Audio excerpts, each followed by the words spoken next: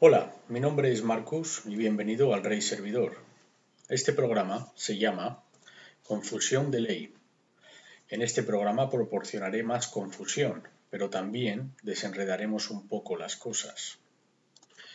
La ley y el gobierno, como tú los conoces, o se presume que sabes, todos se presumen que saben la ley. Nuestro sistema de justicia no podría funcionar sin ello, sin esa premisa. Este programa va a ser una lección no convencional en educación cívica. Todos habéis sido enseñados educación cívica en el colegio y por supuesto los medios telecomunicativos informan continuamente de esto. Existe una razón por la que más del 90% de nuestros representantes elegidos en el gobierno y por lo que los primeros ministros y presidentes y líderes de diferentes países son todos abogados. Los líderes que no son abogados tienen una almohada extra en su cama para estos, para el abogado. Verás, ellos son los únicos que saben cómo funciona todo esto. Existen todo tipo de grupos en el mundo protestando por cosas. Sin embargo, ninguno de estos sabe cuál es el problema raíz sobre lo que están protestando. Los gobiernos se ríen de ellos permitiéndoles pacíficamente protestar, pero detrás del escenario os están llamando idiotas. ¿Cuándo fue la última vez que viste a un grupo de abogados en las calles protestando por algo? Ellos no protestan. O las grandes corporaciones. Ellos no hacen eso, no son idiotas. Veo a grupos aborígenes protestando por cosas que reclaman que son suyas. ¿Por qué protestarías si fueras el propietario de algo? Creo que están confundidos. Veo a gente protestar de que el 1% de la gente tiene el 99% de la riqueza. Pero los ricos tampoco son propietarios de nada. Creo que estás confundido. Veo grupos protestando por cosas tales como los abortos. Quieren a bebés que aún no han nacido, los seres humanos, que sean declarados como personas. Están confundidos. Veo a grupos que rechazan todos los estatutos y quieren ser gobernados por la ley común. Quiero mis derechos de ley común. Ya está, no quiero ninguna otra ley. Creo que estás confundido. Veo a grupos que protestan que dicen soy un hombre libre en la tierra, un hombre libre de ley común. Pues ya lo son. Están confundidos. ¿Eso es lo que realmente quiere ser? Veo a gente protestando en los tribunales por la custodia de su propio hijo. Definitivamente están confundidos. ¿Y a dónde van todos estos grupos a por ayuda? Lo adivinaste. A los maestros de la confusión. Mi lección para ti, espero, te haga darte cuenta de lo útil que son tus protestas. Ojalá dejes de hacer lo que haces y cambies de rumbo hay algo que puedes hacer, pero lo que estás haciendo no te va a ayudar en nada. El gobernar es el ejercitar la autoridad, administrar las leyes. El gobierno es una organización que ejercita la autoridad. Así que básicamente el gobernar algo significa controlarlo, controlar algo que es tuyo, que posees. ¿Qué es la ley? Bueno, pues el diccionario de la ley negra, la primera edición, lo dice mejor cuando dice que la ley es aquello que está puesto, ordenado o establecido, una regla o método de acuerdo con qué fenómeno o acciones coexisten y se siguen a sí mismas. Aquello que está puesto y establecido por un poder supremo o ser. El diccionario de la ley canadiense dice que la ley es una regla que gobierna la acción. Ahora, yo he oído de todo tipo de leyes. He oído hablar de la ley pública, la ley corporativa, la ley familiar, la ley administrativa, la ley internacional, la ley criminal. Abogado criminal. Esto sería un abogado que es un criminal. La ley civil, la ley común, la ley de física, la ley de las matemáticas, la ley de la gravedad, la ley de Dios. que si se puede romper la ley, que si no se puede romper la ley, que nadie está por encima de la ley, que todos están bajo la ley, que si legisladores, que si leyes municipales, que si leyes constitucionales, que si leyes reales, que si el cumplimiento de la ley, que si la ley del hombre, leyes viejas, leyes nuevas, leyes tribunales, leyes supremas, que si podemos enmendar una ley, que si podemos revocar una ley, y así sucesivamente sobre la ley, que si rompes la ley está mal, que si obedeces la ley eso está bien. Ahora, estas son unas cuantas cosas de las que deberías de pensar muy atentamente. Voy a presentar unas cuantas preguntas. Piensa sobre estas cosas por ti mismo, con tu propio cerebro. ¿Te has preguntado alguna vez por qué tienes que obedecer la ley? ¿Existe alguna ley que diga que has de obedecer la ley? Los abogados y muchos otros en nuestra sociedad han hecho un juramento para obedecer la ley, o no podrían ser abogados. ¿Tú has jurado obedecer la ley? ¿Por qué algunos juran obedecer la ley y otros no? ¿No somos todos iguales bajo la ley? Seguramente aquel que jura obedecer la ley tendrá un deber más grande que aquel que no ha jurado obedecer la ley. Quizás no tenemos que obedecer la ley. Quizás solo está siendo forzada sobre nosotros. Es posible. O quizás tú estés en la tierra de otro, en el dominio de otro. Alguna tierra que alguien ha reclamado y dice, mientras estés en mi tierra, has de obedecer mi ley. Mientras estés bajo mi techo, mientras estés en mi familia, Mientras estés en mi casa, tú has de obedecer mi ley. Es posible. Los abogados tienen licencia para practicar la ley. ¿Tú tienes licencia para practicar la ley? Practicar la ley sin una licencia es ilegal. Quizás debieras de dejar de practicar la ley sin licencia antes de que te metas en problemas. Decimos que somos una nación, un país de leyes, gobernado por la regla de la ley. Supongo que podríamos decir que somos una sociedad de leyes. Entonces, yo debo de ser miembro de una sociedad de leyes. Sé que los abogados son miembros de una sociedad de leyes, pero ¿yo soy miembro de una sociedad de ley? No sé. Quizás lo soy. Al fin y al cabo, puedo elegir representarme a mí mismo en los tribunales. ¿Esto me hace a mí un oficial de la corte? Pero si todos somos miembros de una sociedad de ley, ¿esto quiere decir que soy un abogado? Yo practico la ley, quizás lo sea. ¿Sabías que los abogados son enseñados en las facultades de derecho a despreciar lo que ellos piensen que está bien o mal? Es decir, erradicar la moralidad de la mente y solamente pensar en términos de lo que es legal e ilegal? ¿Tú has sido enseñado a despreciar las diferencias entre el bien y el mal y pensar solo en términos de lo que es legal o ilegal? Si tú te vas a representar en los tribunales, el despreciar lo que está bien y mal sería de ayuda. Así que la básica definición de locura legal descansa sobre tu habilidad para saber lo que está bien y mal. Si no sabes la diferencia entre el bien y el mal, no puedes ser considerado ilegalmente responsable. Estarías loco. Así que si un abogado ha sido entrenado para ignorar lo que está bien y mal, ¿tu abogado está legalmente loco? Legalmente debe de serlo. Incluso los jueces hacen opiniones legales. Puede estar bien o puede estar mal, pero será legal. Así que, ¿qué significa legal? Si yo hago lo que es legal y me abstengo de hacer lo que es ilegal, ¿eso está bien o está mal? No está ni bien ni mal. Es o bien legal o es ilegal. Matar a judíos en Alemania era legal. El aborto es legal. La sodomía es legal.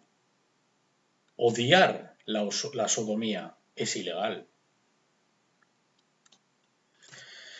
Legalidad o jerga legal es el idioma de una sociedad de ley o sociedad de derecho. Los diccionarios te dicen que legal significa de acuerdo con la ley, en conformidad con la ley, reconocido y válido en la ley. ¿Por qué no dicen que es la ley? Si fuese la ley, no necesitaríamos la palabra legal. Creo que legal tiene más que ver con el testamento, tu testamento, o más específicamente apoyo intencional. ¿Por qué? Porque si el sistema legal requiere tu testamento, disculpa, porque el sistema legal requiere tu testamento, si no puedes formar un testamento, no puedes ser considerado legalmente responsable de tu acto. Si no posees ninguna propiedad, ¿por qué formarías un testamento? No sabías lo que hacías. También el sistema legal o jurídico requiere tu apoyo. Si algo es legal, tienes una pierna en la que apoyarte. Si es ilegal, no tienes una pierna para apoyarte. Sin apoyo, no encontrarás apoyo para algo ilegal. También sé que un testamento no tiene fuerza y efecto mientras el testador del testamento aún esté vivo. Lo cual me hace pensar cómo es que el testamento de la gente, siendo la ley suprema, puede tener cualquier tipo de fuerza y efecto mientras todos estamos vivos y coleando. Hablemos ahora de lo que es la verdadera ley. La ley real. Nunca había oído esta palabra antes. Me la he debido de inventar. Hemos oído acerca de ley positiva, pero ¿qué es la ley real? Bueno, pues la ley real es solo las cosas como son. La manera en la que las cosas deben de ser y son. Podrías decir que la ley real siempre está bien y es apropiada. Está basada en moralidad. Me pregunto si podríamos hacer la ley real ilegal. La ley de la gravedad, esa es una ley real es como son las cosas. No puedo crearla, enmendarla o revocarla. Está en efecto y establecida por alguien. Alguien creó esa ley. Quizás pueda escribir una carta a mi miembro del Parlamento para revocar la ley gravitatoria. Si consigo que se apruebe esa ley, podré saltar 100 metros de altura, como Superman. Yo seré capaz de practicar lo sobrenatural, algo más allá, algo que transgrede la ley. Ahora, acabo de revelarte una de las partes más importantes del truco. El hacer leyes es la práctica de lo sobrenatural. Veamos, por ejemplo, la ley de las matemáticas. ¿Quién hizo que 4 más 4 sean 8? ¿Quién hizo esa ley? 4 más 4 son 8 eso está bien. 4 más 4 son 9, está mal. Cuando yo estaba en el colegio, la profesora diría, eso está bien y eso está mal. Eso me suena a la verdadera ley, o la ley real para mí. Recuerdo que cuando estaba en el grado 11 tomé un curso en la matemática legal. Recuerdo que la profesora me preguntó, Marcus, ¿cuántos son 8 más 8? Yo dije, 88. Ella me dijo, no, Marcus, eso es ilegal. Eso es ilegal. Tuve que ir a la cárcel durante un mes. Así que la ley real es algo que puedes poner a prueba científicamente repetidamente y siempre obtener el mismo resultado. Eso es ley. La ley, la verdadera ley, no puede ser cambiada. Está establecida. es inmutable o no es verdadera ley. ¿Qué hace que la ley sea exigible? Volvemos otra vez a las, leyes, a las leyes falsas. La respuesta es la promesa. ¿Qué hace la ley? El testamento, el testamento de algo. ¿Qué hace que la ley sea exigible? La promesa del testamento. ¿Qué hace que una promesa sea exigible? El derecho del promisé. Aquel que recibió la promesa tiene el derecho a ella. Verás, el testamento siempre trata del futuro, es como una profecía. Nosotros decimos, te veré el próximo martes, nunca decimos, te veré el miércoles pasado. Si dices que lo harás, esa es tu promesa y yo tengo derecho a ella. ¿Vas a mantener tu palabra? Eso es lo único que tienes que saber acerca de la ley, por ahora. Entonces, ¿qué es la ley? Bueno, pues esto lo saqué de la página del Ministerio de Justicia de Canadá. Según ellos dice, bueno, luego dice, luego lo que aparece por debajo es por qué necesitamos leyes. Verás, esto es el cebo y el cambio, o el cambiazo. Primero te ponen el cebo, que es la ley, pero por supuesto no pueden darte respuesta a esto. Luego te cambian el tema y te ponen ¿por qué necesitamos leyes? Así que te van a decir por qué necesitamos leyes y tú vas a pensar que te han dado de respuesta a qué es la ley. Así que te voy a leer esta breve cosa que tenía en su página gubernamental. Casi todo lo que hacemos tiene una serie de reglas. Hay reglas para juegos, para clubes sociales, para deportes y para puestos de trabajo reglas de moralidad y costumbre, que nos dicen lo que debemos y no debemos hacer. Las reglas creadas por el gobierno se llaman leyes. Las leyes están destinadas a controlar o cambiar nuestra conducta. Y al contrario, a las leyes de la moralidad son forzadas por los tribunales en las cortes. Disculpa. ¿Ha dicho contrario a las leyes morales? ¿Las, cortes no imponen leyes morales? Se acaban de decirnos que son la moralidad y de la costumbre de donde proceden las leyes. Se contradicen a sí mismos. Continúa. Si rompes una ley, te guste o no esa ley, ¿cómo que me guste o no? O bien es ley o no es ley. No tiene nada que ver con que guste o no guste. ¿Ves? No van a decirte lo que es la ley, ni cómo es creada, ni cómo funciona. Solo te dicen si te gusta o no. Envían a un policía con una pistola y te la obligan a la fuerza para meterte miedo. No sabes nada de la ley. Este es tu gobierno escribiéndote a ti. Te guste o no, obedece la ley. Tú puede que tengas que pagar una multa por el daño que has hecho o ir a la cárcel. Desde que la gente comenzó a vivir junto en sociedad, las leyes han sido necesarias para mantener esa sociedad unida. ¿Sabías eso? ¿Es por esto por lo que tenemos leyes? ¿Para mantenerte en cautiverio? ¿Para encerrarte en una sociedad? Yo pensé que las leyes eran para proteger tu vida, tu propiedad, y para que no se maten los unos a los otros, no se robe. No, no, no. Te están diciendo que son necesarias para mantenernos a todos unidos, para que no os escapéis. Continúa diciendo, imagínate el caos y el peligro si los conductores eligieran por sí mismos por qué lado de la carretera conducir. Imagínate intentar comprar y vender bienes si nadie tuviera que mantener una promesa o cumplir el contrato. ¿Ves? Los contratos están llenos de promesas, consideraciones.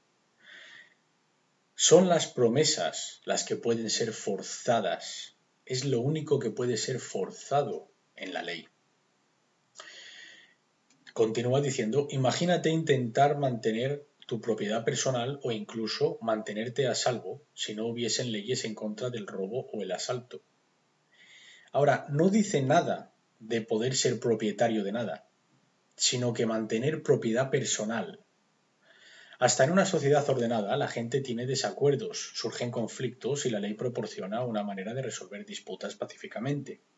Si dos individuos reclaman la misma propiedad, en lugar de luchar, se vuelve a la ley y los tribunales deciden quién es el verdadero propietario. Así que, ¿quién es el verdadero propietario? Pues obviamente los tribunales. Los tribunales son los propietarios. Solo el propietario puede decidir lo que hacer con su propiedad. Los tribunales decidirán quién puede tenerlo o mantenerlo, quedárselo. Ahora, en la página web han puesto verdadero propietario. Esto es una mentira. Esto es un fraude. Tu propio gobierno te miente y te dice que tú eres el propietario. Eso no es verdad. Eso es un fraude. Esto no es ni siquiera ambiguo. Nuestro sistema legal jurídico, basado en una tradición de ley y justicia de la sociedad canadiense, un valioso marco, imperio de la ley, libertad bajo la ley, principios democráticos, bla, bla, bla, bla, bla. Así que Canadá tiene un sistema legal. Nuestro sistema de leyes no está basado en el bien y el mal. Desde luego no en la moralidad, solo en la tradición. Podemos cambiar nuestra mente y podemos cambiar las leyes, no tiene nada que ver con la moralidad. Es lo que sea legal o ilegal. Así que tú puedes ser el ser humano más perverso, repugnante y vil que jamás haya caminado la faz de la tierra y aún no haber hecho nada ilegal. Luego retrocedí unos 200 años a un libro muy antiguo sobre esta palabra legal, que decía, legal es aquello permitido por la ley de acuerdo con la ley de las obras o descansando en obras para la salvación en lugar de la gracia gratuita. Esto es un tanto confuso. Así que legal tiene que ver con la ley, pero gracia o misericordia o el perdón no se hace a través de la ley. Esta gracia gratuita o perdón parece que tiene algo que ver con Dios de nuevo. Continúo tropezándome con temas de Dios en los documentos de ley constitucionales. Pero sé que Dios no tiene nada que ver con la ley. Las iglesias no hacen las leyes. Los legisladores de un país son los que hacen las leyes. ¿Cómo sé que las iglesias y Dios no hacen leyes? Bueno, pues hay cuatro vecinos viviendo juntos los unos con los otros. Un abogado, un ateo, un fontanero y un ministro presbiteriano. y son todos amigos. Sé que suena como un chiste. El abogado hizo un juramento para defender las leyes de Canadá. El ateo obedece religiosamente todas las leyes de Canadá, dadas por Su Majestad la Reina. El fontanero no sabe lo que es la ley, pero las obedece de todos modos porque tiene miedo a la ley.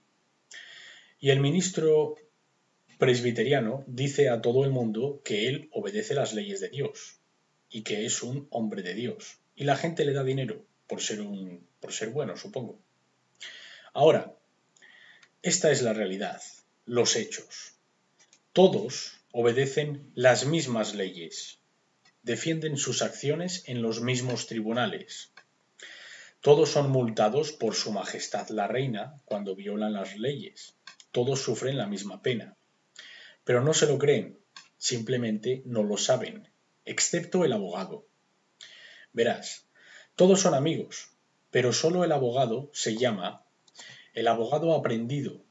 Esto es jerga de abogado. El resto de la gente son los amigos imbéciles o ignorantes. De hecho, si se encuentran en problemas, van a ver a su amigo aprendido, el abogado, y le permiten que él se alimente de sus miserias para su sustento. Ahora, hay muchos grupos en el mundo que protestan contra la ley o rompen la ley porque la odian. Protestan con sus propios servidores, protestan con la policía, reclamando que la policía no tiene su testamento o consentimiento. Dicen, yo no tengo que pagar mis impuestos, yo nunca acordé eso. Tú no eres mi dueño, yo no soy tu propiedad pues es obvio que carecen de conocimiento. Seas un grupo patriota, un grupo de ley común, protestante de impuestos, sociedad de hombres libres, ocupante de Wall Street, el movimiento aborigen o sociedad religiosa o cualquier otro grupo del que no haya oído hablar. Deberías de cambiar de rumbo, antes de que te hagas daño. Serás la próxima causa de tu propia lesión. Un juez presumido le dijo una vez a un hombre exactamente estas cosas justo antes de enviarle a la cárcel. Ahora, si no eres propietario de nada, ¿de qué estás protestando? No creo que estés protestando, creo que estás suplicando. Si eres el propietario de tu propiedad, ¿a quién vas a protestar? Simplemente administrala y regúlala tú mismo. No tiene sentido protestar. Haz algún trabajo de verdad y ocúpate de tus propios asuntos. Ahora mismo tú no eres propietario de ningún negocio. Te han dicho que lo eres, pero no lo eres. Eso es un engaño, es una mentira, es un fraude. Si la gente fuera propietaria, este mundo sería muy productivo. Estaríamos muchísimo más avanzados. Pero en fin. Yo te explicaré y te enseñaré por qué tú obedeces la ley y protestas por las leyes. También voy a explicar la ley básica y el gobierno. Cualquier abogado puede hacer esto, pero no lo harán. Presumen que ya lo sabes. Si tú supieras lo que él sabe, no le necesitarías a él, y él tendría que buscarse un verdadero trabajo. Solo necesitas a un abogado para el alegato y el procedimiento, ¿Ves? Tienes un procedimiento en cómo debes suplicar, mendigar y solicitar, rezar y peticionar a Dios, a tu Dios. En tiempos tribales había curanderos, en tiempos medievales habían curas. Hoy tenemos a los abogados. Son tu intercesor para cumplir la ley. Sacrificios y ofrendas. ¿Sabías que el gobierno no tiene ninguna obligación de explicarte la ley de hecho, no puede darte consejo legal. Has de pagar a un abogado para eso. O si lo quieres gratis, vete a ver a tu representante. Después de todo, él o ella es la que hablará por ti. Te dirán lo que dijiste y a lo que has acordado. Te dirá la ley que tú hiciste, mientras tú estabas demasiado ocupado trabajando o haciendo lo que sea. Verás, cuando vas a los tribunales, se presume que sabes toda la ley porque eres tú el que la hizo. Un tribunal no puede condenarte, de lo contrario. Así que veamos brevemente la ley y el gobierno. Veamos un poco de historia.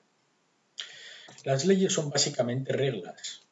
El gobierno es un sistema a través, del, a través del cual las reglas controlan o gobiernan las cosas. Así que, ¿cómo comenzó la ley y el gobierno? Bueno, pues si vas a Internet y tecleas historia de la ley, obtendrás, bueno, ya sabes, evolucionamos y éramos bárbaros y salvajes y en cierto punto, quizás, qué sé yo, 100.000 años, lo que sea, comenzamos a formar ciertas reglas, comunidades, tribus, gobiernos. Había probablemente una ley en aquel entonces que decía eh, probablemente el hombre cromañón o el neandertal tenía reglas tales como ningún hombre arrastrará a su mujer por el pelo, excepto bajo la autoridad de una licencia o sujeto a las regulaciones. Ahora esta historia no es correcta, pero es probablemente tu idea de la historia. Hoy, el registro más antiguo que tenemos es de hace unos 7.000 años, sobre las leyes egipcias, el código Hammurabi que son un código nuevo de leyes. Cualquier cosa anterior a esto parece haber desaparecido de la historia. Es extraño que tenemos algunos registros que se remontan a unos pocos más de miles de años, y antes de eso, nada. Como si hubiesen caído de la faz de la Tierra. Supongo que cualquier cosa previa a esto es prehistórico. Eso significa anterior a la historia. Pre historia. Significaría antes del tiempo. Así que supongo que hubo un tiempo en el que hubo un tiempo donde no existió el tiempo. Prehistoria. Antes de la historia. Vaya palabra más estúpida, ¿no crees? Prehistórico. Cuando miramos a las naciones, los países, las reglas y el gobierno, es igual que el reino animal. No hay ninguna diferencia. Ninguna regla gobierna esto.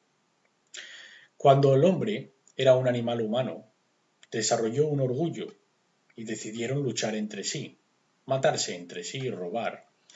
No estaba bien, así que decidieron formar grupos, clanes, familias, tribus, naciones, países, comunidades, sociedades. Cada grupo reclamaría un territorio, marcado con su olor. Nosotros ponemos una bandera o una valla. Luego, a defender el territorio.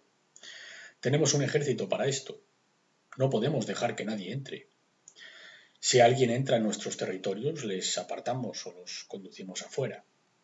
Tenemos guardias fronterizos y vallas.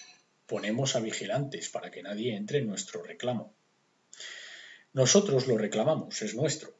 Somos soberanos absolutos, gobernantes de nuestro territorio. Los animales hacen lo mismo. Este es nuestro territorio, nadie más puede desafiarlo. Cada territorio tiene sus propias reglas, prestas por el Supremo, puestas por el Ser Supremo. El líder era el macho alfa, el más grande y el más fuerte. Ocasionalmente hay una pelea para saber quién será el líder. Hoy tenemos una campaña de liderazgo. No es igual que un animal, pero bastante semejante. Aún lo llamamos lucha. Así que alguien es el viejo y experimentado y lo sabe todo. Sería el mejor líder.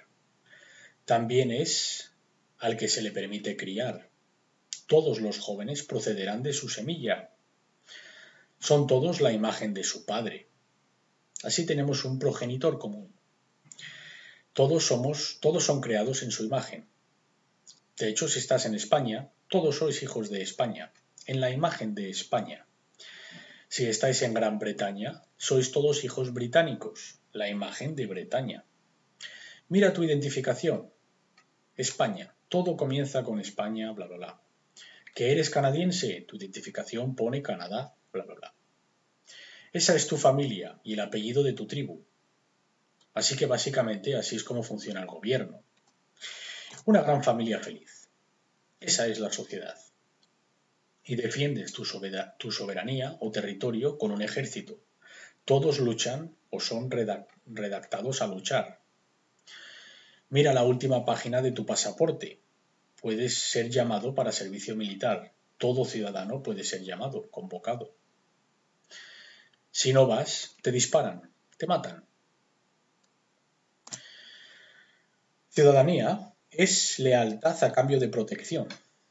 Eso es lo que significa ciudadanía. Tú querías estar protegido del hombre del saco o el cuco. Así que juraste lealtad a este país. Ayudaré a luchar y protegerlo. Así que es un negocio de protección, como la mafia. Nos pasamos por tu negocio, necesitas protección, pues me das tanto, lealtad, deberes, te protejo. Si quieres reclamar el territorio de otro grupo, pues nada, entras en guerra y los matas. Hoy tenemos reglas en cómo matarlos. Lo llamamos leyes internacionales. Ahora, mm, la ley civil es como la eutanasia. Es una matanza pero civilizada. Una forma cortés de matar. Es decir, tenemos que matarte pero podemos ser civiles en forma. Una guerra civil es también como matar a tu hermano. Estás en la misma familia, donde en una guerra regular no estás matando a tu hermano, porque ese es un hermano pero de distinta madre. Pero en la guerra civil estás matando a tu hermano. No hay ninguna ley para controlar nada de eso. Así son como las cosas han evolucionado. Si crees que eres un animal, actuarás como un animal. Todas estas familias, por todo el mundo, a las que llamas países o sociedades, no hay ninguna ley que controla nada de esto, porque no somos un mundo basado en ley, al menos en ley real. Así que esto es la historia básica de la ley y el gobierno. Así es como funciona nuestro mundo, básicamente. Ahora, en toda sociedad o familia, siempre hay uno por encima no importa cuántos constituyan toda la familia o la sociedad. Siempre ha de haber un tipo de un tipo en lo alto, un ser supremo, como el Padre o como el Dios. En los Estados Unidos estaban los padres fundadores, que crearon este ser. En Canadá tenemos los padres de la Confederación. Así que tienes que tener padres, pero en Canadá ya teníamos un padre llamado la reina o el rey. Así que veamos cómo las leyes son creadas en dos países, por ejemplo, en Canadá y en los Estados Unidos. Aunque los principios son virtualmente iguales en cualquier país, a no ser que sea una dictadura pura y dura. Así que, ¿cómo se hace la ley? Bueno, pues te voy a, te voy a contar algo que nadie más sabe. Es un secreto muy bien guardado, pero te lo voy a decir. Aquí está el secreto. No hay nadie aquí en la Tierra, pero nosotros, la gente. Y probablemente estés pensando, bueno, yo ya sabía eso. No, no lo sabes. Y en un minuto te demostraré cómo no lo sabes. Todos los países comienzan de la misma manera. Alguien encuentra un territorio, lo reclama. Hace unos años unos barcos llegaron aquí a Canadá y un tipo se bajó, puso una bandera y dijo yo reclamo esta, esta tierra en nombre del rey Jorge aunque haya gente o no, no importa, nosotros la reclamamos. En el nombre del rey Jorge. Nuestro barco se acerca al área de Estados Unidos. Un hombre dijo, yo reclamo este, esto en nombre del rey Jorge. Ahora el rey Jorge tiene la reclamación a ambas piezas de tierra, y el rey Jorge defenderá su reclamo hasta la muerte. Así es como la soberanía es mantenida, igual que el reino animal. Ahora, la gente de los Estados Unidos pensaron que era estúpido el pagar a un tipo en Inglaterra una parte por todo lo que trabajaban. Así que cogieron las facturas de los impuestos y las devolvieron al remitente. Hubo una pelea animalista y el rey se dio por vencido. Ahora tenemos un montón de gente sin leyes, sin ser supremo, sin rey. Así que la gente dijo, bueno, pues seremos nuestro propio rey todos unidos como uno, conjuntamente escribiremos una constitución de la gente, por la gente y para la gente. Después de todo, solo estamos nosotros, la gente, aquí. Así que, de entre muchos, seremos uno. Y ese uno son todos juntos, toda la gente junta, como un gran animal, todos unidos como uno. Vale, Así que ahora hagamos unas reglas o leyes. Ahora tenemos unos 300 millones de vosotros. Todos entráis en la casa para debatir cuáles deberían de ser las reglas o leyes. Pero claro, no todos entran en la habitación o la casa. Alguien tiene que quedarse en casa para alimentar a los animales o lo que sea. Así que envían a un tipo de cada área y él hablará por los demás. Él nos representará. Nosotros seremos los constituyentes. Todos seremos parte de esto. Él hablará por nosotros.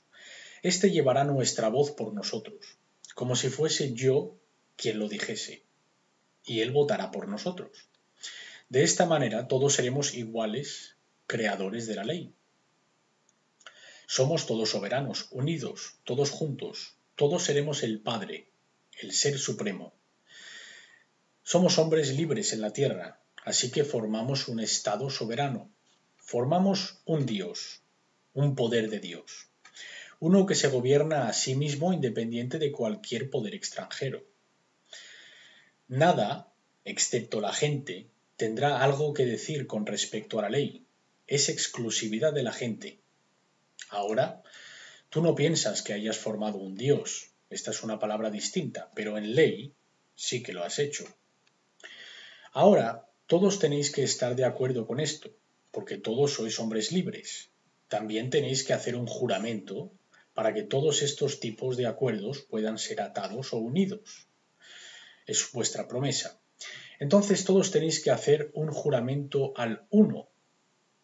Pero todos sois iguales, hombres y mujeres. Entonces no podéis hacer un juramento a nadie superior, puesto que os habéis deshecho del rey. Entonces tenemos que jurar a, qué sé yo, a la bandera. Así que cogemos un trapo, lo ponemos en un polo y juramos promesa de lealtad a la bandera. Nadie en su sano juicio haría esto, pero la gente lo hace. Y luego hacemos que nuestros críos, desde que nacen, se acostumbren a prometer, a prometer lealtad a la bandera. a la bandera, a la bandera, lealtad a la bandera. Y con el tiempo esto se convierte en algo normal. Esto es realmente lealtad a uno mismo o amor a uno mismo. Pero vendemos este concepto como, lo que, como que lo hacemos por un bien mayor. Así que la creación de las leyes, uno de los representadores de cada distrito, se levanta y dice, ha de haber una ley en contra de esto. ¿Una ley en contra de qué? Así que dice, voy a escribir un proyecto de ley que diga que todos queremos usar cinturones cuando conducimos. Todos lo debaten, están de acuerdo, lo votan, la mayoría gana y este proyecto de ley ahora está aprobado por la Casa. Luego, con una voz ruidosa, se proclama, se promulga, se envía al presidente. Y así es como actuaremos. Así que esa es tu voluntad o tu testamento, escrito en un proyecto de ley. Tu nombre está en ese proyecto de ley. Así es exactamente como vamos a actuar. Los detalles exactos están en el acta de la carretera de tráfico. Ponte el cinturón. Esa es tu convicción, tu testamento. Este es el guion, el manuscrito. Se llama escritura. Has de seguir el guion, el acta, es tu testamento, tu voluntad, y tu testamento es tu promesa, y tu promesa puede ser forzada por la ley. Le das el proyecto de ley al presidente, él lo firma y lo hace ley.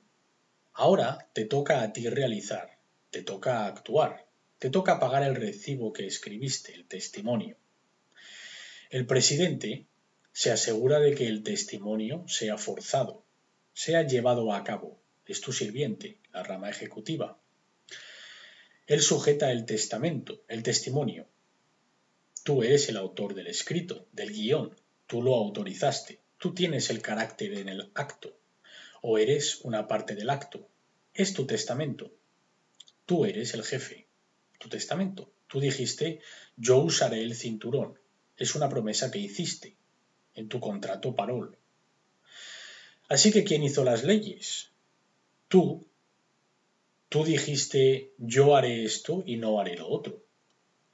Cuando dices lo haré, esa es tu promesa, y una promesa puede ser forzada o exigida en ley.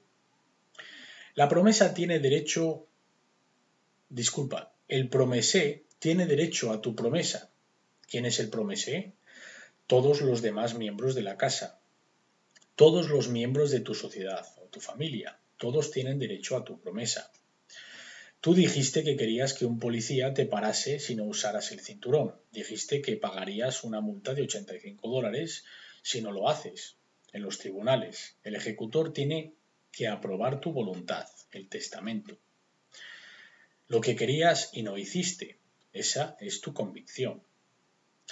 Es lo que crees que debe, ser la ley, cómo debes de actuar pagas a tus sirvientes para que cumplan tu voluntad o testamento o deseo. Los jueces están ahí para administrar tus juicios, es tu voluntad, no son sus juicios. La rama ejecutiva está ahí para llevar a cabo tu testamento. Ellos mantienen el testamento y tu nombre está en él. Así que, ¿quién es el gobierno? Tú lo eres. Tú te gobiernas a ti mismo, pero lo haces como uno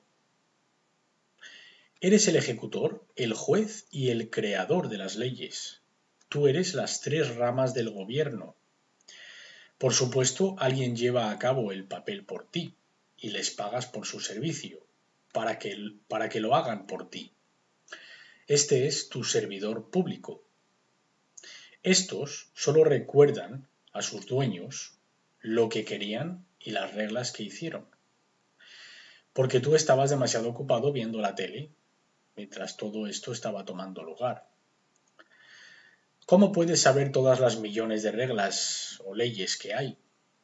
Bueno, pues muchas son anunciadas, se hacen saber a través de los medios de comunicación, tu vecino te dirá algunas, tu padre, tus padres te dirán algunas, pero todas han de ser publicadas. Pero claro, nadie realmente entiende cómo todo esto funciona. Si todos entendiesen esto, casi nadie estaría en la cárcel. ¿Por qué, alguien haría algo contradictorio a su propia voluntad o testamento? Tendrías que estar loco. Todos los grupos descontentos están meramente protestando su propio testamento o voluntad. Tú dijiste que obtendrías un permiso para protestar y hacerlo pacíficamente. Hay una ley que regula esto también. Y si no lo haces, dijiste que la policía venga y me golpee con una porra en la cabeza. Tú lo pediste, tú lo ordenaste. Y ahora dices que no me gusta este sistema de ley llamado democracia. La democracia es como cuatro paredes y dos ovejas decidiendo o debatiendo sobre qué hay para comer esta noche. El 51% de la gente puede a través de la democracia hacer que el 49% hagan lo que quieran, por ley. Incluso tus derechos no son absolutos, pueden ser erradicados también. Qué bien, ¿no? Qué bien tener libre voluntad, qué bien ser un hombre libre. Quizás ahora sabes cómo tus sirvientes obtuvieron tu testamento y tu consentimiento, obtuvieron tu poder. Aquí tienes la ilusión.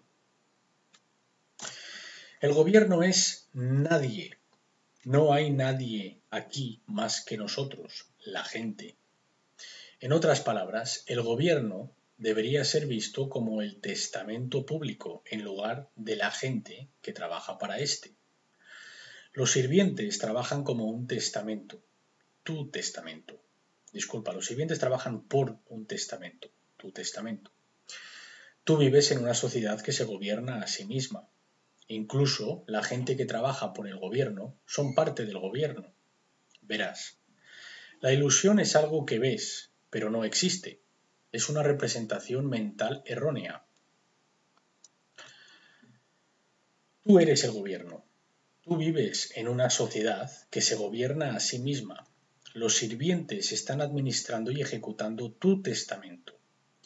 Por supuesto, una vez que hayas creado tu gobierno, has perdido todo el control. Se ha hecho a través de un fideicomiso. La próxima vez que te encuentres con la necesidad de protestar a tu gobierno, simplemente ponte delante de un espejo y discute con quien veas. Es mejor que lo hagas en privado, porque si alguien te ve y esa información llega a los tribunales, puede que te encierren en un manicomio y forzarte a tomar cierta medicación. Ahora veamos unas ligeras diferencias en Canadá, porque esto fue en los Estados Unidos. En Canadá, la soberanía no reside en la gente, en práctica sí, pero en la realidad la reina es una soberana constitucional, lo que significa que alguien la hizo una reina. La constitución la hizo reina. Ella solo es una mujer, pero la constitución la hizo una reina. Nos dicen que es un derecho que deriva de Dios. No es verdad, pero, sé lo que, pero es lo que nos dicen. O quizás se refieren a un Dios distinto, Mm, luego lo descubriremos. Todos saben que ella es simplemente una mujer, como cualquier otra mujer, pero cuando viste la corona y el vestido bonito, la llamamos la reina.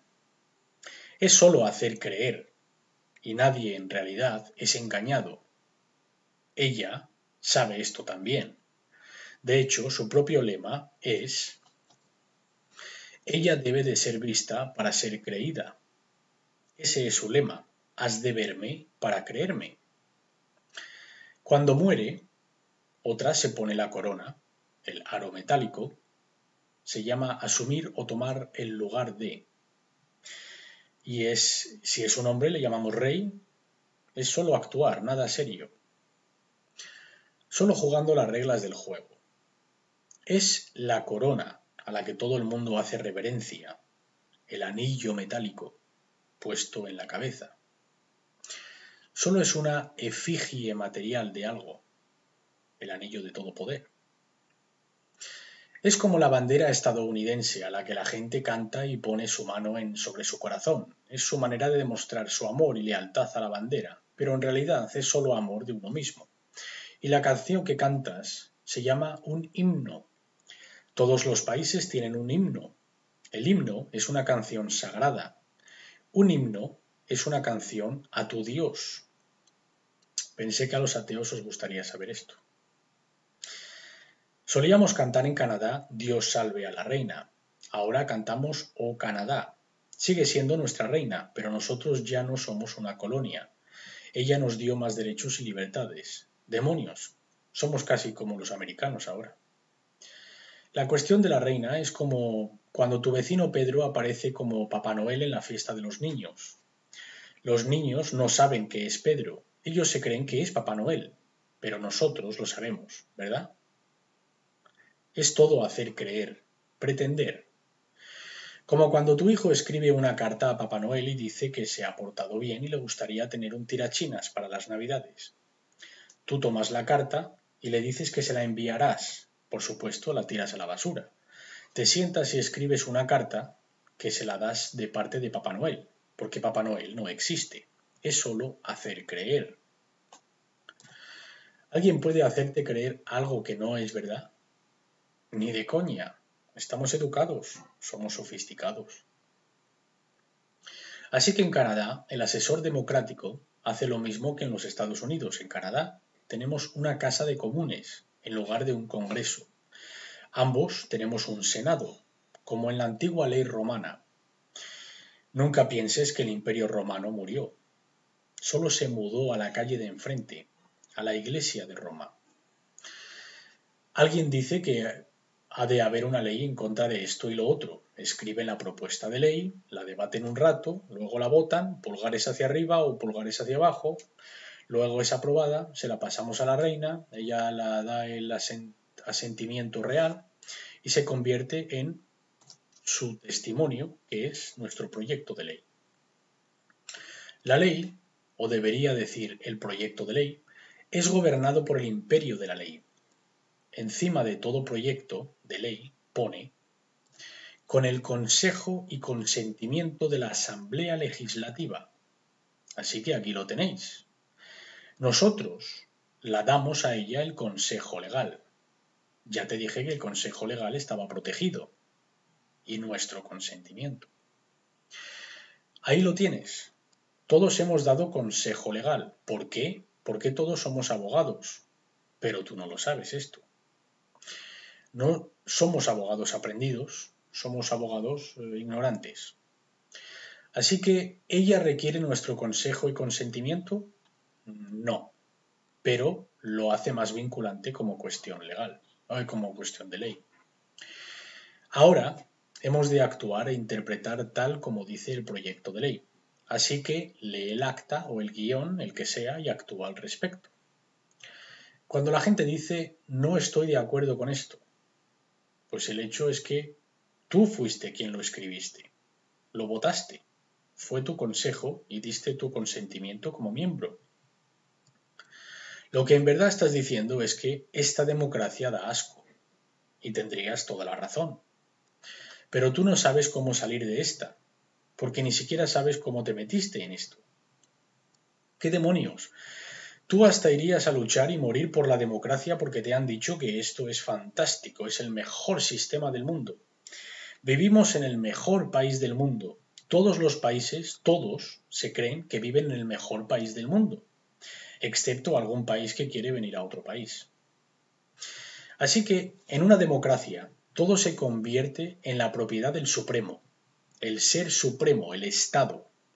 Toda nación en la Tierra opera a través del comunismo, solo que no puedes verlo.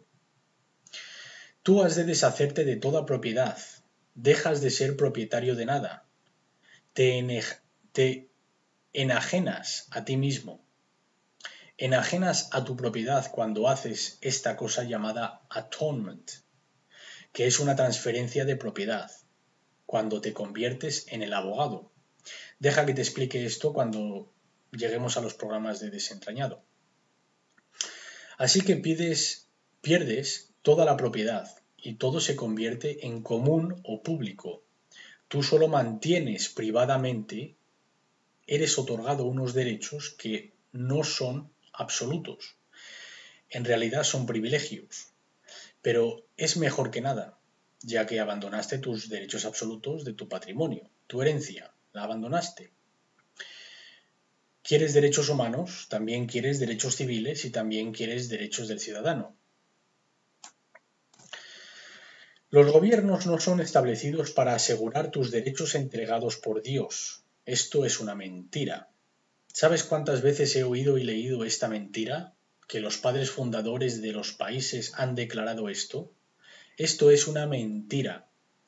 Solo la ley y tu promesa para realizar tus deberes pueden asegurar tus derechos entregados por Dios.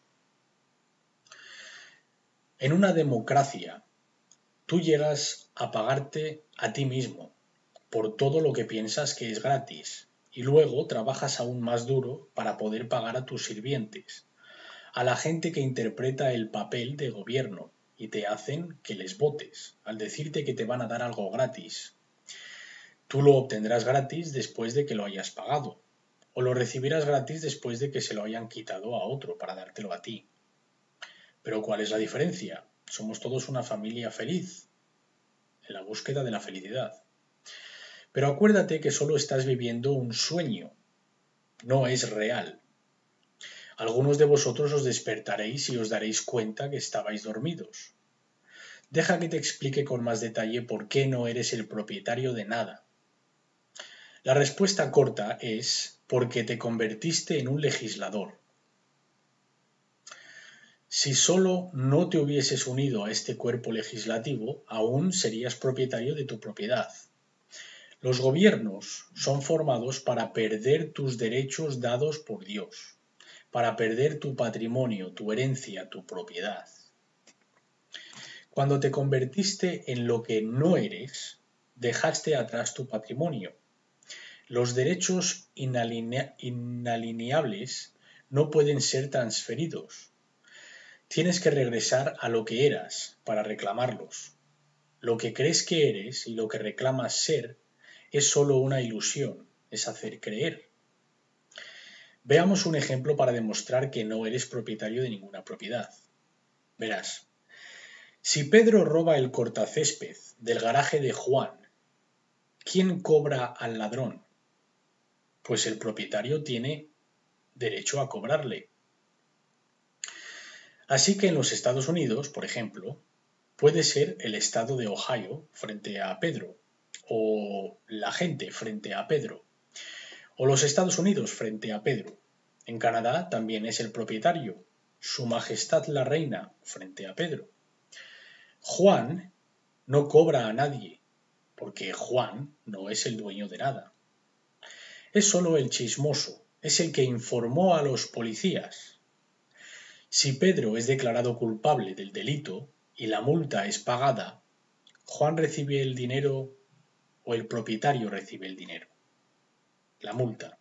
¿Quién se queda con la multa? El dueño, claro, el propietario. Juan no recibe ni un duro. ¿Por qué? Porque nadie robó a Juan.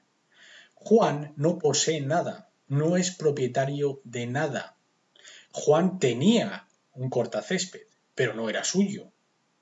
Juan ni siquiera tiene que ir a los tribunales. Él puede quedarse en casa a ver los dibujos animados.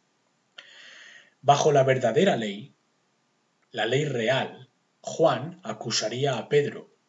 Y si Pedro es declarado culpable, Juan recibiría su cortacésped y obtendría otro cortacésped en recompensa, como precio o multa o pena por el crimen. En cambio, la víctima en una democracia es la sociedad la una, el uno, no tú, no el individuo. ¿Aún te crees que eres propietario de algo? Todo es propiedad de la sociedad en la que vives. Todo es público, todo es común. Tú solo mantienes propiedad pública, privadamente. Eres propietario del título de nada, Tú solo mantienes el título del dueño. No eres propietario de tu casa, eres el ocupante de la casa. La ocupas como inquilino. No eres propietario de tus hijos, solo mantienes custodia de ellos. El propietario puede cambiar a los padres, a los guardianes, a la niñera o al niñero cuando quiera, usando la ley. Si alguna vez quieres saber quién es el propietario de aquello que piensas que es tu propiedad, Solo mira la imagen y el sobrescrito del dinero que mantienes. no puedes emitir dinero a no ser que seas propietario de propiedades. Este es un buen momento para echar otro vistazo al truco y a la ilusión y cómo funciona. Un concepto fundamental en la ley es que uno solo puede aplicar su testamento o reglas o leyes a aquello que ha creado, es decir, aquello que posee, aquello que es suyo y ya está, punto. Es la única cosa que puede gobernar. Es la cosa más fundamental en la ley. Si no es tuyo, tú no tienes ni voz ni voto. No tienes nada que decir al respecto. Si intentas controlar algo o alguien que no es tuyo, eso va en contra de la ley. Así que si quieres ser el legislador, un gobernador, has de crear algo, cualquier cosa. Pero claro, nosotros somos humanos y no podemos crear nada.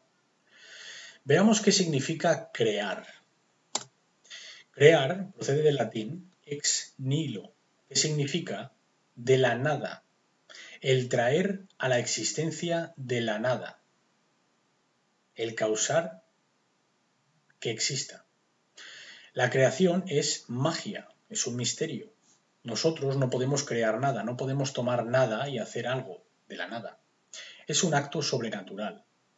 Somos, nosotros somos parte de la naturaleza, somos parte de la creación, no somos, la no somos el creador. Y cuando crees que puedes hacer esto, estás practicando lo sobrenatural, el ocultismo. La creación es una habilidad sobrenatural, no existe en la naturaleza. La naturaleza es la creación. Dios es sobrenatural, está por encima de la naturaleza. Es el autor de la naturaleza. Como un soberano estamos practicando lo sobrenatural. Esto se llama ocultismo. Y lo practicamos con palabras mágicas. Creamos nada y creemos que es algo, para que podamos aplicar nuestra voluntad a ello. Ya elaboraré más sobre esto después. Así que primero, la gente, que no tenía, no tenía ninguna ley, después de haberse deshecho del rey en los Estados Unidos, crearon los Estados Unidos, lo formaron tomaron un reclamo y dijeron vamos a convertir esto en algo. Escribieron su constitución y nació una nación. Nació, nació de ti. Tú la pariste, la creaste. La gente dio a luz a ella. Pero ¿la nación puede darte a luz a ti? Ya creaste al Padre. Ahora solo necesitas al Hijo para hacer la voluntad del Padre.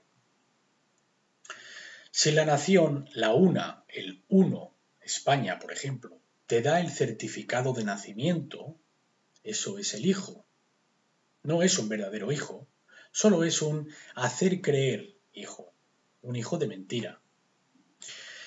Pero fue ideado y creado para servir el propósito del gobierno y la sociedad, un tipo de concepción inmaculada, es básicamente solo magia. Si puedes recordar, esto es exactamente lo que dijo el juez Blackstone sobre las personas, el que intentó codificar la ley común. Dijo, una persona artificial, una máscara, una identidad, fue ideada y creada para el propósito del gobierno y la sociedad. Es una entidad no viva, un ser creado o nacido en la imagen de España o de cualquier otra nación y habrá un día en la que fue emitida, fue creada. El día en el que este ser salió, emergió. Desde ese momento se puede usar como tu prueba de reclamar ser eso. Pero puesto que en realidad no puedes, lo mejor que puedes hacer es pensar, actuar y hablar por ello. Y por supuesto, creerte que lo eres. Y cuando tú eres convocado a los tribunales o usas esta falsa identidad en cualquier lugar, por ejemplo, cuando reservas un vuelo, una habitación de hotel, vas a votar, compras gasolina y vas a trabajar, debes de aparentar serlo. Pienso, luego soy. Es tu máscara. Y así es como el truco más antiguo ilusión está hecho. El truco o la ilusión es tan normal y usual que nadie lo puede ver o comprender. Primero, creaste algo en tu imagen. Luego, tú reclamas ser la imagen, aquello que creaste. Esto es puro ocultismo. Ahora tienes una falsa identidad, una falsificación, una ficha, y tú la personificas. Eso significa, la das tu cuerpo. Cuerpo, voz, comportamiento, la vida. ¿Te acuerdas de la película de llamada Ghost, La sombra del amor?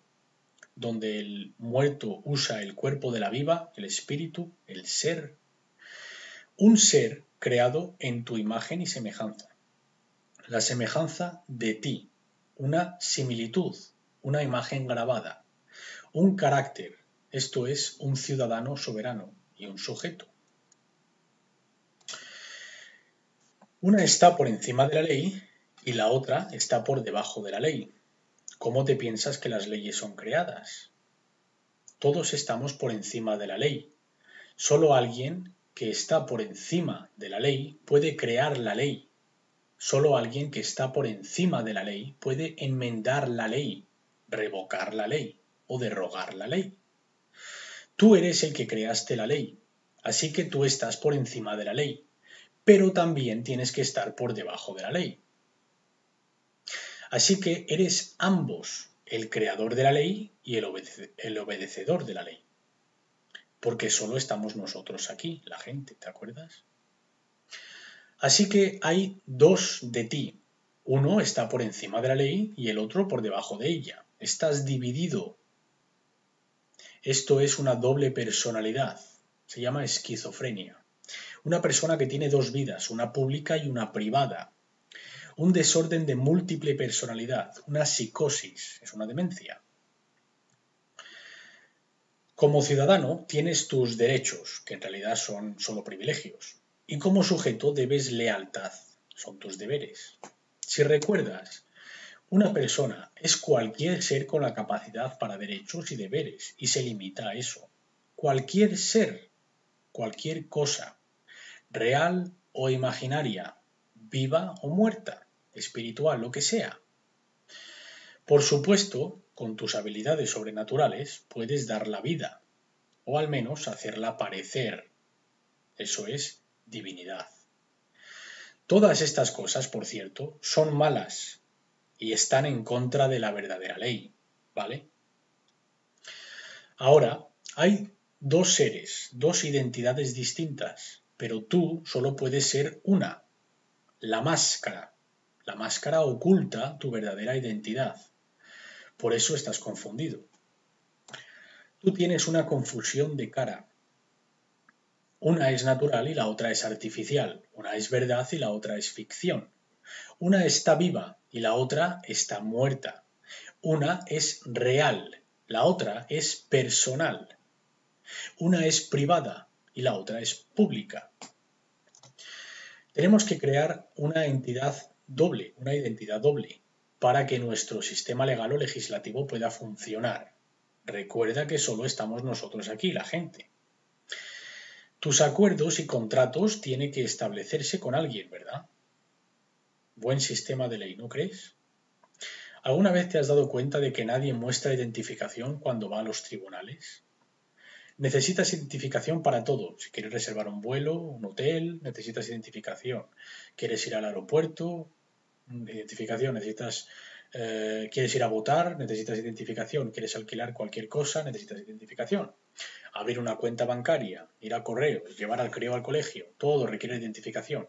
En cambio, cuando vas a los tribunales, el juez te mira y dice tu nombre, por favor, y tú vas y le dices tu nombre. ¿Por qué no le preguntas, ¿quieres ver mi identificación? Ellos no quieren ver tu identificación. ¿Sabes por qué?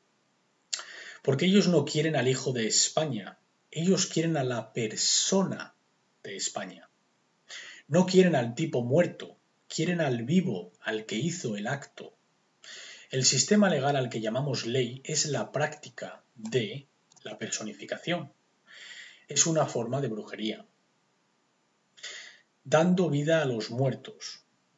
dando al muerto un espíritu, una vida. Bienvenido a Hollywood. Por cierto, Hollywood significa literalmente madera de acebo. Holly es el acebo. Es un árbol sagrado que se utiliza en la hechicería. De hecho, acebo y sagrado es la misma palabra en inglés, holy. Hollywood es un lugar donde la gente aparece en persona. Halloween, truco o trato, es la celebración, la fiesta de aparecer en persona. Solo recibes un trato si apareces en persona. Aquel que viste la máscara es considerado ser. Considerado significa tratar como si. Cuando usas una máscara, te tratan como si y te dan un trato, un obsequio, una golosina. Esto es Halloween. De lo contrario, es mejor que sepas cómo se ha hecho el truco. Si quieres inscribir a tu hijo en el colegio, has de hacerlo en persona. El Estado solo educará a su hijo, no educará al tuyo. Cuando un policía te, te, para por exceso de velocidad, te multa por ir en exceso de velocidad, en persona, porque estás conduciendo en persona. ¿Acaso hay otra forma de conducir? Pues claro, pero tú aún no lo sabes. ¿Necesitas decirle algo? No, solo dales tu persona. Cuando vayas a los tribunales, has, a luchar por, tu, por la multa, has de aparecer en persona. Necesitas personificar la máscara, darle tu cuerpo. ¿Por qué? Porque tú eres el actor, el hombre tras la máscara. Eres la causa del efecto realizado a través de brujería. Una vez cometí, eh, disculpa, una vez comí toda mi cena, en persona. Cuando terminé aún tenía hambre. Ayer conduje mi coche en persona. Casi choqué contra un árbol. Tuve que tomar control del volante yo mismo. ¿Confuso? Normal, porque fue diseñado de esta manera. El engaño solo puede ser revelado al aprender la verdad. Ningún hombre que haya sido engañado jamás lo supo, puesto que si lo supiese ya no sería engañado. Quizás esta forma de autogobierno no es todo lo que había sido anunciado ser. Quizás quieras abandonar. Quizás quieras devolver aquello que no te pertenece para restaurar aquello que es tuyo. La ilusión que vivimos es tan normal, tan de día a día, que no podemos verla. Recuerda lo que significa sutil, difícil de detectar o comprender en la mente. Ahora mismo, este, esto es aquello, y tú no puedes percibir la diferencia. Cuando puedas ver con claridad en tu mente que esto no es aquello, habrás sido transformado exitosamente por la renovación de tu mente.